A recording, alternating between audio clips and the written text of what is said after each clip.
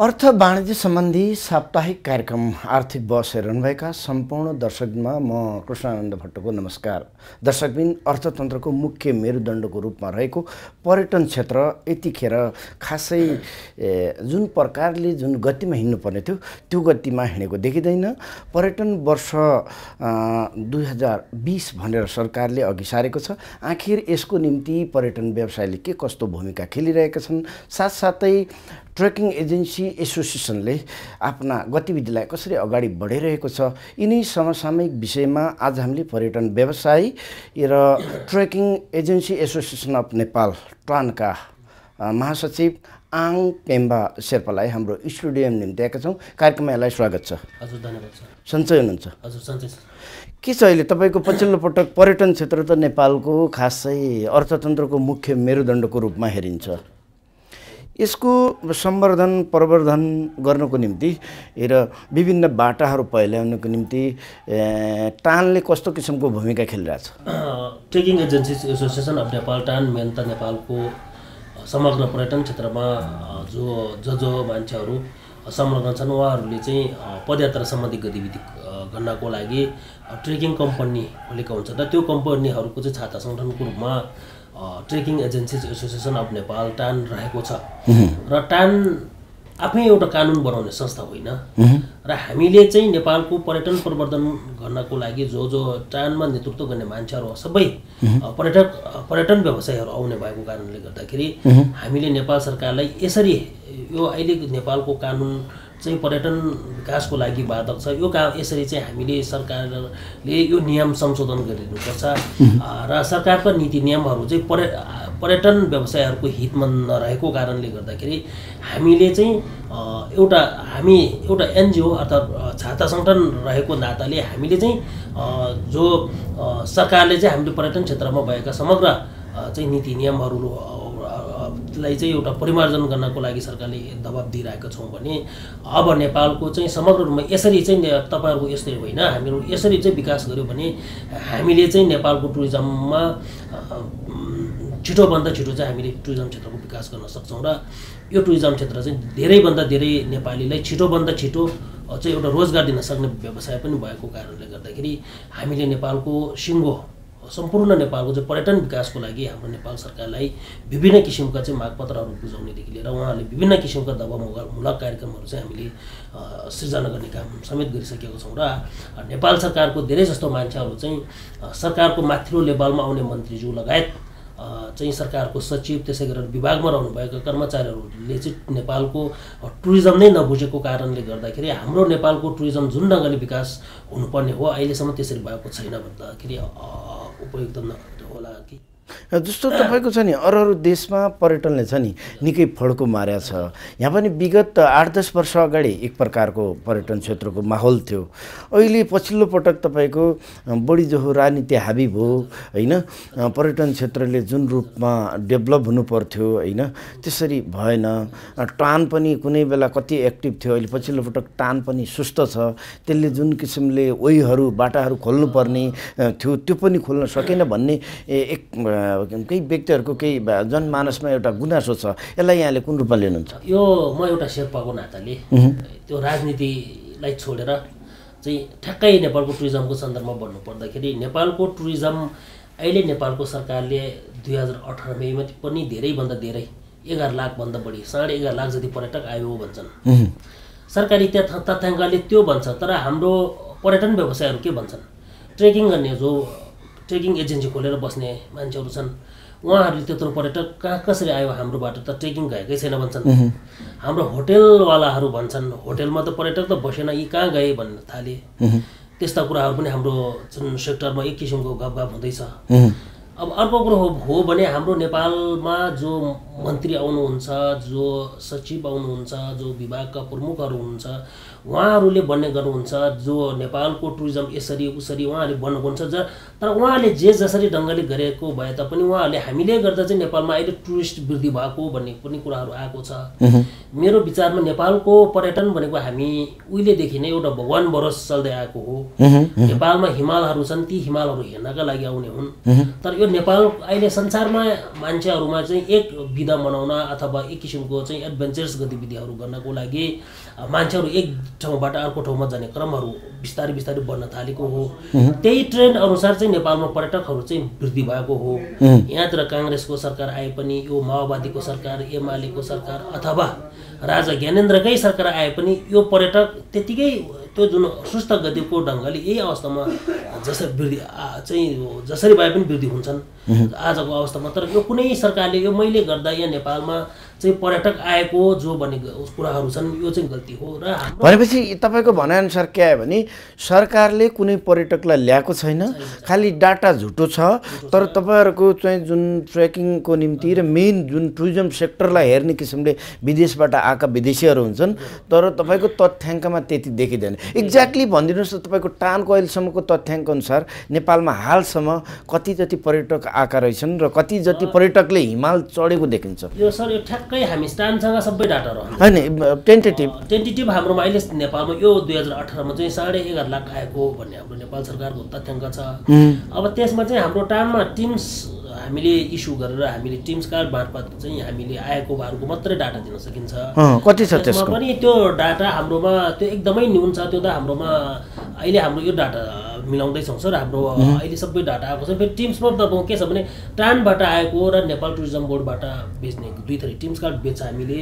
तर त्यो टिम सम्बन्धमा पनि पछि सङ्घीयता आएपछि यो धेरै अलिकति गोलमोल भएको कारणले गर्दाखेरि टिम्स कतिपय ठाउँमा हाम्रो सोलुखुम्बुकै खुम्बु पासाङसम्म गाउँपालिकाले टिम्स कार्डै हटाएको छ। अब त्यसो भएको हुँदाखेरि यो टिम्सबाट पनि त्यो खुम्बु गाउँपालिकामा जाने कसैले टिम्स कार्ड बोकेर जान्छन् कसैले जान्दैनन्। र टिम्स कार्ड बोकेर जाँदा चाहिँ हाम्रो मजदुरहरूको चाहिँ बिमा लगायत मजदुरहरू बिरामी भयो भने उद्धार हुने र उहाँहरूको पछि मेडिकल खर्च अनि त्यसै गरेर हेली रेस्क्यु खर्चहरू पनि पाउनु भएकोले सजिलो भएकोले उहाँहरूले त्यो टिम्स कार्ड प्रयोग गर्छन् थाहा हुने मान्छेहरूले किनभने पछि इनकेस तपाईँको एक एउटा टिम्सको एक हजार डलर एक हजार रुपियाँ नेपाली पैसा तिर्नुपर्छ। त्यो तिरे बापत एकजना विदेशीले त्यो तिर त्यो एकजना विदेशीसँग एक हजार दिनु पनि त्यति ठुलो कुरो होइन। तर त्यो लिए बापत चाहिँ विदे हाम्रो जुन त्यो ग्रुपमा जाने जो भरिया जो गाइडहरू छन् उहाँहरूले चाहिँ इन्सुरेन्स पाउने भएको कारणले कतिपयले युज गर्छन् र कतिपयले युज गर्छन् त्यसो भन्दाखेरि अहिलेखेरि ठ्याक्कै हाम्रो डाटा पुरा आइसकेका छैन। र यो टिम्स कार्ड चाहिँ नेपाल टुरिज्म बोर्डबाट एफआइटीले पनि बेच्ने गर्छ। तर अहिले खुम्बु पासाङ गाउँपालिकामा पनि त्यो ठ्याक्कै चाहिँ त्यो त्यसको चाहिँ कार्यान्वयन गर्ने मतलब त्यहाँ चेक चेकिङ काउन्टरहरू चाहिँ त्यहाँबाट हटाएको कारणले गर्दाखेरि अहिले यसको ठ्याक्कै हाम्रोमा डाटा त्यति छैन। तर हामीले वार्षिक रूपमा एकदमै थोरै जति रूपमा चाहिँ पठाउ टिम्स कार्डहरू बेच्नु पर्दथ्यो यो चाहिँ नेपालको सरकारले चाहिँ यस यो सम्बन्धमा चाहिँ हाम्रो नेपाल पर्यटन बोर्ड र टान बिच एग्रिमेन्ट भएर चाहिँ पहिले टिम्स कार्ड लागू भएको हो। तर यो पछिल्लो चरणमा हाम्रो लागू गर्ने पक्षहरूको चाहिँ अलिकति गैर जिम्मेवारी पर्ने भएर गर्दाखेरि हाम्रो टिम्सलाई सही ढङ्गले कार्यान्वयन गर्न सकेको छैन भनेपछि एक्ज्याक्टली डाटा के छ त अनि तपाईँकोसँग चाहिँ अहिलेसम्म भएको लगभग टिम्स कार्ड यति गयो टान मार्फत यति चाहिँ मान्छे टुरिस्टहरूले चाहिँ नि सेवा पा पायो। भन्ने कुरो। ठ्याक्कै विवरण चाहिँ अहिले हाम्रोमा त्यो किनभने नेपाल टुरिज्म बोर्ड दुइटैबाट टिम्सको जोड्ने क्रम बाँकी छ सर। यसको चाहिँ हामी तपाईँको अन्दाजमा कति जति होला मेरो अन्द अन्दाजमा त्यस्तै तपाईँको बिस पच्चिस हजार पनि टिम्स हामीले बेचेका छैनौँ सर। किनभने हाम्रोमा अहिले तर त्यसैको लडाइँ थियो नि त तपाईँहरूको छ नि जुन टान रहेछ नि टुरिज्म बोर्डसँग त्यहीको लडाइँ थियो जुन कि टिम्स कार्ड छ नि बेच्यो होइन।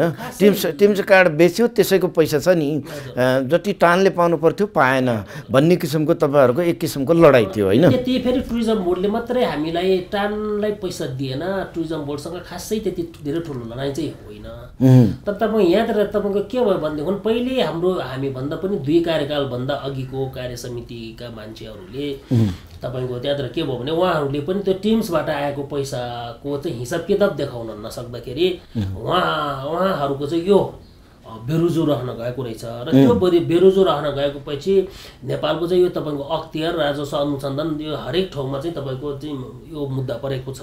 र त्यहाँको मुद्दाहरू अहिलेसम्म सल्टिएका छैनन्।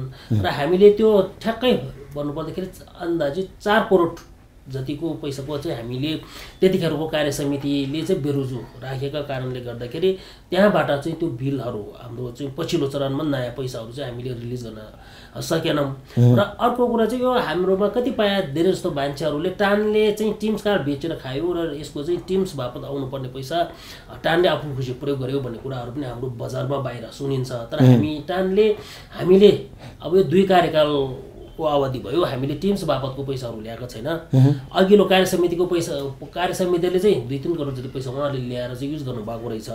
र अहिले यो पछिल्लो कार्य समितिले हामीले टानमा रहेको टान सचिवालयमा रहेको टिम्स जो जुन का- कार्डहरू इस्यु गर्ने कर्मचारीहरू छन् र ठाउँ ठाउँमा केही चेकिङ काउन्टरहरूमा चाहिँ कर्मचारीहरू छन् ती कर्मचारीहरूको तलब बाहेक अहिलेसम्म हामीले टानले टिम्सको कुनै पनि पैसा लिएको छैन। भनेपछि कसरी चलिरहेको छ त अहिले टानले?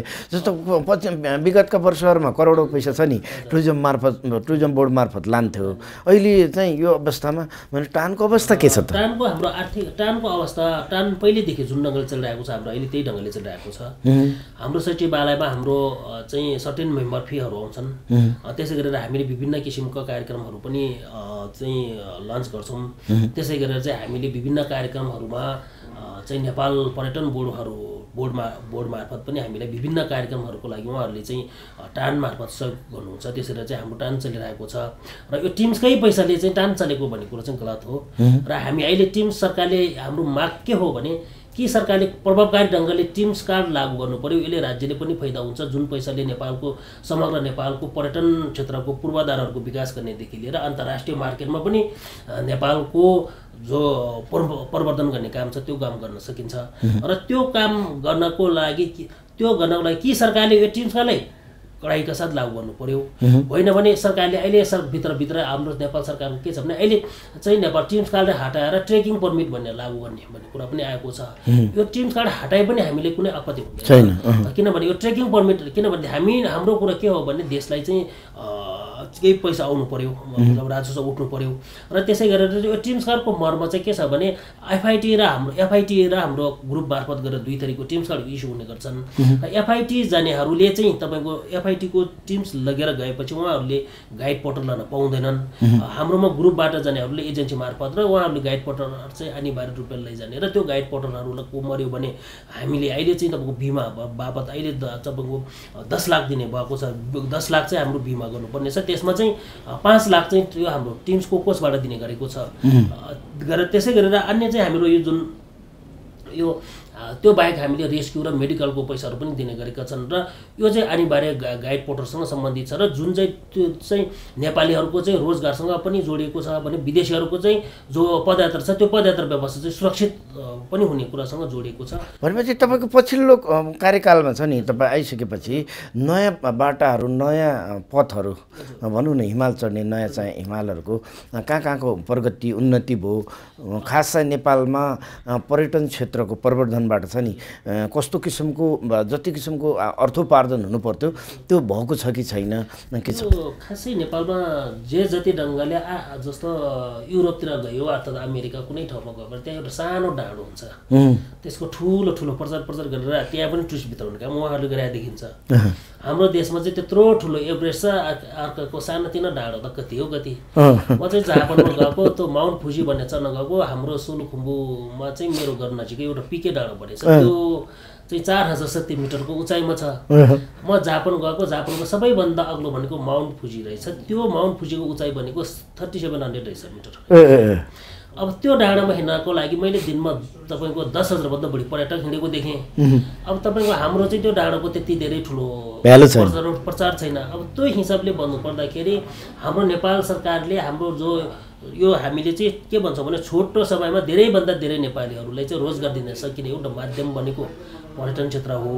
तर त्यो पर्यटन क्षेत्रमा चाहिँ तपाईँको हामीले जे जसरी ज जसले जे जेसुकै भने पनि तपाईँको कतिपय मान्छेहरूले चाहिँ यो उ गर्न लागि डाटाहरू पनि धेरै राख्ने अनि अब तपाईँको विदेशीहरूको धेरै आम्दानी भयो यताउता भन्ने कुराहरू गर्छन्। तर ज जसले जे जे भने पनि हाम्रो नेपालको हिमालहरू अब जस्तो नेपालको जुन पर्यटकीय क्षेत्रहरू जो जुन ढङ्गले विकास हुनुपर्ने थियो त्यो ढङ्गले विकास भएको पनि छैन। र त्यो ठाउँमा जसरी हामीले धेरै प्रचार प्रचार गरेर विदेशीहरू नेपालमा लिएर आउनु पर्दथ्यो त्यो आएको पनि छैन। र नेपालीहरूले पर्यटन क्षेत्रबाट जुन किसिमको लाभ लिनु पर्दथ्यो त्यो लाभ चाहिँ अहिलेसम्म हामीले लिन सकेको छैन र भविष्यमा पनि अब यो सरकारले चाहिँ राम्रो ढङ्गले चाहिँ हामी पर्यटन व्यवसायीहरूको हितमा आउने गरेर नीति नियमहरू बनाइदिएनन् भने यसरी नेपालको पर्यटनको विकास खासै बन्ने जस्तो ढङ्गले बन्न सक्दैन। र अर्को कुरा चाहिँ के छ भने हामीले नेपाल सरकारसँग के भन्छौँ भने सरकारले पर्यटन क्षेत्रमा खास लगानी गर्नु पर्दैन। सरकारले एकदमै राम्रो ढङ्गको पर्यटन व्यवसायीहरूको हितमा आउने गरेर नीति नियम बनाइदिनु पर्यो। त्यो नियम भनेको के हो भने नेपालमा कुनै पनि विदेशीहरू नेपालमा आएपछि कुनै पनि ट्रेकिङ कम्पनी मार्फत अनिवार्य ढङ्गले तालिम प्राप्त गाइड वा सहयोगी लगेर जानुपर्ने। भन्ने खालको चाहिँ सरकारले नीति नियम बनाइदियो भने भोलिको दिनमा नेपालमा पर्यटन पर्यटकहरू धेरैभन्दा धेरै वितराउने काम तर त्यो त अलरेडी छ होइन? हुन त छ सर तर यो छैन। त्यो त्यति लागु भएको छैन। यो भन्दाखेरि नेपालको सरकारको धेरै ठुलो माथिल्लो उहाँहरूले अब हाम्रो नेपालको सरकारको माथिल्लो निकायको मान्छेहरू चाहिँ के गर्छन् भने हामी सरोकारवाला हाम्रो जो स्टेक होल्डर भन्छन् उहाँहरूलाई पनि बोलाएर उहाँहरूले छलफल गराउँदैन। र उहाँहरूले चाहिँ उहाँ त्यो स्टेक होल्डर आयो भने धेरैभन्दा धेरै पर्यटन व्यवसायहरूको जे जे कुरो छ उहाँहरूले त्यो माग राख्छन्। र त्यसो भएको हुँदाखेरि उहाँहरूले टान एनएमए नाटा अनि त्यसै गरेर चाहिँ हाम्रो धेरैभन्दा धेरै संस्थाहरू छन्। ती संस्थाका मान्छेहरूले चाहिँ बोलाएर उहाँहरूसँग चाहिँ अन्तर्क्रिया कार्यक्रम भनेपछि नयाँ गन्तव्य छ नि। नयाँ गन्तव्य कहाँ गर्नुभयो तपाईँहरूको पालामा? अहिले नयाँ हाम्रो चाहिँ हामीले चाहिँ हामीले पुरानै चाहिँ पर्यटकीय व्यवसा जो जो पर्यटकीय जुन हाम्रो खास नेपालको पर्यटन भनेको धेरै जस्तो एभ अन्नपूर्ण एभरेस्ट अनि त्यसै गरेर चाहिँ लाङटाङ क्षेत्रमा धेरै जस्तो पर्यटकहरू आएर त्योतर्फ जाने गरेको छ। र नेपालको पर्यटन क्षेत्र नै त्यति देखिन्छ। पछिल्लो अवस्थामा हाम्रो अप्पर मुस्ताङ लगायत अब यो डोल्पा र यो कञ्चनजङ्घातिर जाने पर्यटकहरू पनि केही देखेका छन्। अब हाम्रो नयाँ गन्तव्यमा चाहिँ हाम्रो यो मुन्दुम ट्रेल भनेर यो भोजपुरतिरको यो चाहिँ एउटा नयाँ ट्रेल आएको छ। त्यो ट्रेलहरू पनि हामीले प्रमोट गर्न खोजिरहेको छौँ। त्यसै गरेर इलामको चियाबारी लगायत त्यसै गरेर हाम्रो पश्चिमका खप्ताल रारा त्यसै गरी यो चाहिँ हाम्रो यहाँ बिचमा चाहिँ हाम्रो यो यो गुरिल्ला ट्रेक भनेर पनि अहिले हाम्रो यो रुकुम रोल्पातिर आएको छ। ती ट्रेकहरूलाई चाहिँ हामीले चाहिँ प्रमोट गर्न खोजिरहेका छौँ र अहिले नेपाल सरकारले चाहिँ नयाँ पर्यटन गन्तव्यहरू विकास गर्नको लागि चाहिँ सयवटा चाहिँ गन्तव्य पनि उहाँहरूले चाहिँ पहिचान गर्नको लागि उहाँहरूले त्यो प्रमोट गर्नको लागि त्यो ठाउँको पूर्वाधारहरू पर्यटकीय पूर्वाधारहरू निर्माण गर्नको लागि उहाँहरूले काम गरिरहनु भएको छ। र त्यसमा चाहिँ हामीले पनि त्यो सयवटा गन्तव्य अ, मा चाहिँ हामीले ती त्यही गन्तव्यहरू चाहिँ धेरै जस्तो हामीले पनि सिफारिस गरेका छौँ। र त्यसै गरेर त्यो सयवटा गन्तव्यमा पनि अहिले तपाईँको छानेर चाहिँ तपाईँको चाहिँ बिसवटा गन्तव्यको चाहिँ अझ अलि धेरै विकास मतलब अलि त्यो त्यो विशेष रूपले चाहिँ विकास गर्ने भन्ने कुराहरू पनि आइरहेको छ। त्यो त्यस त्यो छनौटको काम पनि भइरहेको छ। र यो चाहिँ नेपालको चाहिँ किनभने यो धेरै जस्तो चाहिँ अब चाहिँ सरकारी त हामीले सिफा हामी संस्थागत ढङ्गले हामीले चाहिँ सिफारिस गर्ने हो। तर धेरै जस्तो काम चाहिँ नेपालको सरकारको नीति निर्माण लेभलबाट नै आएन भने चाहिँ नहुने जस्तो देखिएको कारणले।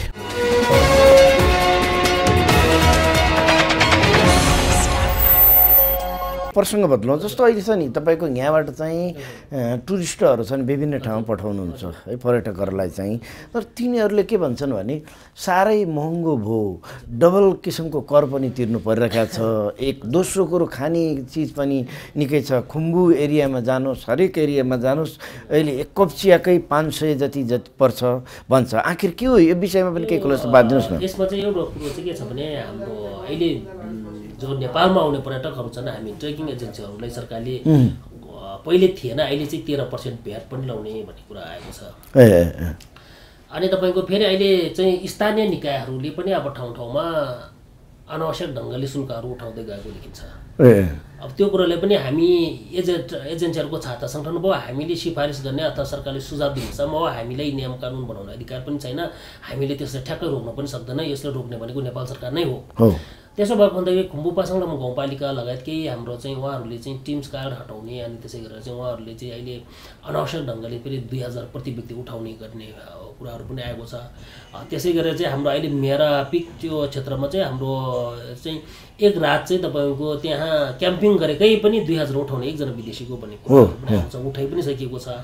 अनि त्यसै गर्दाखेरि ती पैसा सबै पैसाहरू त अब हामीले पनि एजेन्सीले तिर्ने कुरा आउँदैन। त्यो पनि हामीले पनि विदेशीहरूमाथि नै जोडेर आउने कुरा हो।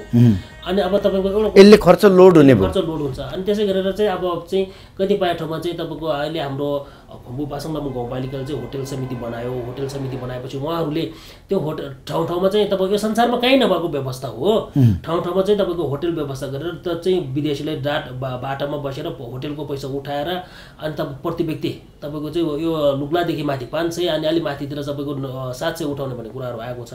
अब फेरि केही होटेलहरू तपाईँको सात सयभन्दा पाँच सय सात सयभन्दा पनि महँगो होटेलहरू छन्। त्यहाँबाट त्यो लागु नहुने। र सिजनको बेलामा पाँच सय सात सय चाहिँ तिरेर होटेलको पैसा तिर्दा पनि उहाँहरूले चाहिँ डाइनिङमा सुत्नुपर्ने अवस्था पनि आएको छ। अनि त्यसो भएको हुँदाखेरि हामीले पनि यो यो कुरामा हामीले कडा ढङ्गले विरोध गरेका छौँ। हामीले यो कुराले सरकारले हटाउनुपर्छ। यो कुराले चाहिँ किनभने अरूले अब चाहिँ त सरकारले नै नहटाउनु हटाउने हो र सरकारले राम्रो ढङ्गले नीति नियम नबनाउने हो भने यो त तपाईँको बढी भोलि झन् भोलि झन् बढ्दै जान्छ। त्यसो भएको हुँदाखेरि सरकारले यसले चाहिँ के गर्नुपर्छ भने सरकारले पूर्ण रूपले हटाउने र होटलले तपाईँको दुई हजार उठाओस् कि पचास रुपियाँ उठाओस् कि जतिसुकै पैसा उठाओस् यो चाहिँ तपाईँको होटलले नै दिनुपर्छ। भन्ने पनि हाम्रो माग रहेको छ। र विदेश जस्तो आफू खुसी त्यहाँका गाउँपालिकाहरूले छ नि मन परी किसिमको शुल्क उठाए भन्ने कुरो पनि छ नि। यो म मन परी भन्दा पनि फेरि यसले मन परी भन्न पनि नमिल्ने अवस्था आयो। किनभने फेरि खास गरेर पनि यो राज्यको चाहिँ तपाईँको राजस्व उठाउनेसँग कुरा रहेछ। तर पनि नेपाल सरकारको एउटा बुँदामा चाहिँ स्थानीय निकायहरूले पनि पर्यटन शुल्क उठाउन भने एउटा सानो बुँदा राखिदिएको कारणले गर्दाखेरि त्यो बुँदाले चाहिँ उहाँहरूले हुन चाहिँ स्थानीय गाउँपालिका लगायत नगरपालिकाहरूले चाहिँ आफूले निर्माण गरेको संरचनाहरूको ट्याक्स उठाउन पाउने भन्ने कुराहरू लेखिएको हुन्छ। तर त्यहाँ तर कि यो यो अवस्था सिर्जना हुनुमा कतै पर्यटन बोर्डले चाहिँ नि उठाउँदै गरेको शुल्क तिनीहरूको वृद्धि विकासमा छ नि स्थानीय क्षेत्रको वृद्धि विकासमा नगएको कारण यो अवस्था सिर्जना भएको त होइन नि। यो पनि हो सर। यो यो प्रमुख कारण नै यही हो सर। हाम्रो नेपालको सरकारले हिमालको लागि भनेर धेरै पैसा उठाउँछ। सगरमाथाको लागि भनेर वार्षिक सगरमाथाबाट पनि करोडौँ पैसा उठाउँछ। चाहिँ यो नेसनल पार्कहरू भनेर विशेष गरेर Sagarmatha national park Annapurna national park त्यसै गरेर लाङटाङ नेसनल पार्क त्यहाँबाट पनि सरकारले पर्यटकहरू गए बापत धेरै पैसा उठाउँछन्। तर सरकारले त्यो क्षेत्रमा विकासको निम्ति क्षेत्रको विकासको लागि लगानी त्यो गर्दैन। रकमहरू केही निश्चित प्रतिशत बाँडफाँड गरेर उही बेला दिएर त्यहाँको विकासको लागि खर्च गरेको भए यो अवस्था आउँदैन थियो। र यसको मेन कारण नै यही हो किनभने उहाँहरूले चाहिँ पैसा उठाउने तर केन्द्रमा नै खर्च गर्ने तर ती गाउँपालिकाहरूमा चाहिँ त्यो बजेटको केही हिस्सा छुटाएर दिएको भए उही बेला छुटाएर दिएको भए यस्तो हुँदैन थियो। र भोलिको दिनमा जन यो सरकारले चाहिँ यसरी चाहिँ ती बजेट उठाएको बजेटहरू अ, छुटाएर दिने सिस्टम चाहिँ राख राखेन त्यस्तो विकास गर्न सकेन भने यो जन्म यो सङ्ख्या यो काम यस्तो हुने काम चाहिँ झन् चाहिँ बढ्दै जान सक्ने जस्तो देखिएको छ। जस्तो हाम्रोमा हिमाल भनेपछि यसले असर गरेको छ पर पर्यटन व्यवसायमा। हजुर यसले यसले ठुलै असर गरेको छ हजुर यसले किनभने अहिले हाम्रो तपाईँको नेपालमा आउने पर्यटकहरू जो जसले फेरि तपाईँको जे जसरी पर्य पर्यटन क्षेत्रमा आउने शुल्कहरू देखियो वृद्धि गरेको त्यो शुल्कहरू हामीले पर्यटकहरूमाथि नै जोडेर लिने हो। र त्यसरी गर्दाखेरि अहिले तपाईँको सिजनको बेलामा जस्तो कुनै युरोपको सहरबाट काठमाडौँ आउनको लागि एघार बाह्र सय डलर हवाई भाडा लाग्ने गर्छ। तपाईँको यो तपाईँको पर्यटन हाम्रो देशमा त हिमालहरू छन् विशेष गरेर हिमालै हेर्ने आउने मान्छेहरू त जसरी बाह्र सय पन्ध्र सय दुई हजार भए पनि जसरी पनि आउँछन्। तर यहाँ धेरै जस्ता पर्यटकहरू के भन्ने छुट्टी मनाउन जाने रमाइलो गर्ने। अब अहिले तपाईँको नयाँ ट्रेन्ड अनुसार अलिक सस्तो ठाउँमा जाने भन्ने कुराहरू आउँछन्। जस्तो अहिले युरोप कुनै पनि सहरबाट ब्याङ्कक जानको लागि छ सयमा टिकट पाउँछन् छ सय डलरमा। अनि तपाईँको त्यहाँ तपाईँको चार पाँच सयमा खाना बस्न पुग्छन्। नेपाल आउने पिरियड टिकट टिकटले मात्र चाहिँ उहाँ उनीहरूले चाहिँ हप्ता दिनका चाहिँ टुर गरेर फर्किन सक्छन्। त्यसो भएको हुँदाखेरि हाम्रो देशमा चाहिँ अब यहाँतिर चाहिँ आउनेहरूलाई प्लेन टिकट मात्र पनि हजार बाह्र सय लाग्ने भयो। अनि त्यो माथि पनि फेरि उहाँहरूको प्याकेज हजार बाह्र सय जोड्ने हो भने उहाँहरू नेपाल आउने प्याकेज महँगो पर्न जान्छ। र जसले गर्दाखेरि नेपालमा आउने पर्यटकहरू अरू देशतर्फ गएको जस्तो देखिन्छ। र जसले गर्दाखेरि हाम्रो नेपालको सरकारले चाहिँ यो पर्यटक क्षेत्रमा लाउने जुन यो जुन भ्याटहरू हाम्रो करहरूको जुन केही घटाइदिएको भए सजिलो हुन्थ्यो कि? किनभने कतै व्यवसायीले डबल पैसा लिइरहेका अवस्थामा अहिले फेरि स्थानीय सरकारले विभिन्न क्षेत्रमा कर छ नि लिएका हुनाले चाहिँ टुरिस्टलाई मात्रै देखाएर व्यवसायहरूले त्यो गर्न खोजेका हुन् कि? व्यवसायहरूको हाम्रो माग चाहिँ के छ भने खास गरी हो भने नेपाल सरकारले चाहिँ सरकार र स्थानीय गाउँपालिका अब प्रदेश सरकार पनि छन् उहाँहरूले टुरिस्ट देख्ने बित्तिकै चाहिँ ट्याक्स उठाउनुपर्छ भन्ने खालको मानसिकता विकास भयो यो चाहिँ गर्नु हुँदैन यो ट्याक्समा सरकारले फेरि यो ट्याक्स उठाउने अ, चाहिँ अहिले हामी के भन्छौँ भने स्थानीय प्रदेश केन्द्रले केन्द्रको कुरामा हामीले यो यो कर उठाउने कुरा एकद्वार हुनुपर्छ। केन्द्रले अझै त्यो स्थानीय हाम्रो पर्यटकहरूको आय बापत जो जो जे जसरी आएको उठाए हुँदै आएको शुल्क छ त्यसमा वृद्धि गरे पनि हामीले केही फरक पर्दैन। तर अनावश्यक ढङ्गले ठाउँ ठाउँमा चाहिँ पैसा उठाउनु हुँदैन। र त्यसै गरेर चाहिँ हामीले चाहिँ यो नेपाल त्यसरी गर्दाखेरि महँगो पर्ने र हामीले चाहिँ यो नेपालमा आउने पर्यटकहरूको जो शुल्क जो यताउति छन् हामीले यो नेपालमा चाहिँ अहिले भिजिटिआर भनेर सरकारले भिजा सिजन ट्वेन्टी ट्वेन्टी भन्छन् उहाँहरूले दुई हजार बिस, बिसमा चाहिँ धेरैभन्दा धेरै भन्दाखेरि उहाँले बिस लाखभन्दा माथि चाहिँ धेरै पर्यटकहरू भित्राउने भन्ने कुरा पनि ल्याएको छ। यो हाम्रो व्यवसायहरूको लागि एकदमै राम्रो कुरा हो। नेपाल र नेपालीको आर्थिक विकाससँग पनि जोडिएको कुरा हो। तर यसो भन्दै गर्दा हाम्रोमा कुन खालको टुरिस्ट भित्राउने भन्ने कुराहरू पनि अहिले हाम्रो पहिचान गर्नु जरुरी छ। बस भएको छ। हाम्रोमा यहाँ तपाईँको चाहिँ पाउरोटी र तपाईँको चाहिँ सबैभन्दा सस्ता होस्टेलमा बसेर सुत्ने पर्यटकहरूको सङ्ख्या वृद्धि भएको छ। जसले नेपालीले कुनै फाइदा पनि भएको छैन। हाम्रो चाहिँ पर्यटक व्यव जो व्यवसायमा लागेको गाइड पोर्टलहरू छन् उहाँले व्यवसाय पनि पाएको छैनन् होटेल जो उहाँहरू पनि होटल ठुलो होटेलहरूमा पनि व्यापार नै भएको छैन। र अहिले हाम्रो मेन कुरा भने के हो भने क्वालिटी टुरिस्ट भित्राउने हो कि क्वान्टिटीमा भित्राउने त्यसमा चाहिँ क्वान्टिटीमा भित्राउँदाखेरि हामीले त्यसको के हामीले क्वालिटी पर्यटक भित्राउँदाखेरि हामीले फाइदा के? भन्ने कुराहरूमा पनि हामीले बहस हाम्रोमा करिब हामी अन्त्यतिर पनि आइसक्यौँ। जस्तो नेपालमा वात्तै नेपालमा पाँच लाख टुरिस्ट आए। राख्ने ठाउँ छ हाम्रो नेपालमा? यो चाहिँ तपाईँको फेरि यो के छ भने यसमा अलिकति गाह्रो छ। हाम्रो सरकारले बिस दुई हजार एघारमा पर्यटक धेरै आउँछन् भनेर धेरै मान्छेहरू लगानी गरे पर्यटक भने जसरी आएनन्।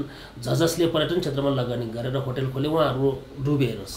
फेरि अहिले तपाईँको दुई हजार बिसमा पनि तपाईँको धेरै पर्यटक आउँछ भनेर ठ्याक्कै उ गरिरहँदाखेरि हाम्रो पर्यटन व्यवसायहरू नेपालमा ठ्याक्कै किनभने अहिले सबैतिर महँगी भएको बढेको छ।